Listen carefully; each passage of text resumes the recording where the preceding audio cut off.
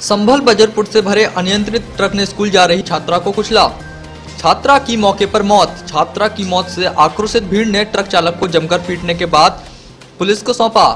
Truck के नीचे फंसे छात्रा के सबको जेसीबी मशीन की मदद से मुश्किल निकाला गया। ट्रक चालक को नींद की झपकी लगने से बताया जा रहा है सड़क हादसा। चंदौसी कोतवाली क्षेत्र के मुरादाबाद बदायूं हाईवे का सड़क हादसा। संभल से मुबारक अली की रिपोर्ट।